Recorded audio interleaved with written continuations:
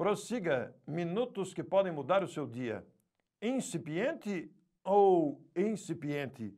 Notem os telespectadores, são duas palavras com a mesma pronúncia. Ambas são adjetivos e com apenas uma das letras alteradas.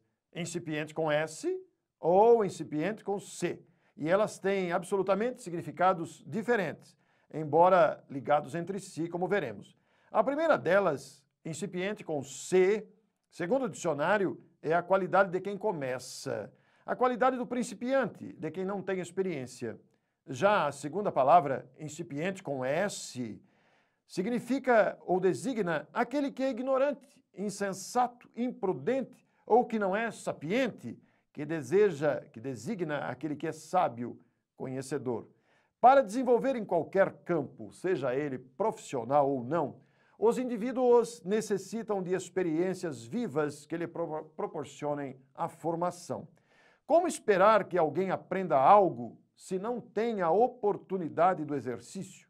Isto ocorre com tudo. Para aprender a dirigir um veículo, precisamos exercitar. Para aprender a andar, uma criança precisa exercitar-se. E por aí vai afora, não é mesmo, telespectador?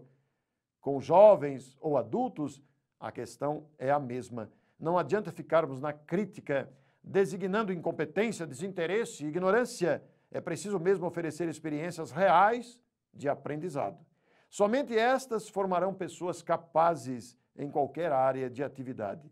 Para que o incipiente com C não seja um incipiente com S, pensemos nisso e comecemos a valorizar aqueles que convivem conosco e de quem esperamos o melhor. Afinal, conhecer nunca é demais. E para todos nós que vamos aprendendo os princípios do amor e da fraternidade através do Evangelho de Jesus, a aquisição de virtudes, o aprimoramento moral, também é uma questão de exercício.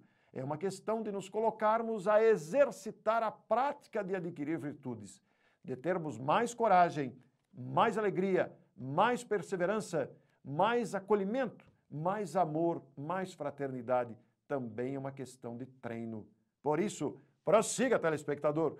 Prossigamos, eu me incluo. Todos estamos nesse gigantesco aprendizado. Escreva para o Prossiga. Prossiga, arroba tvmundomaior.com.br e juntos vamos caminhar rumo ao aprendizado que precisamos fazer.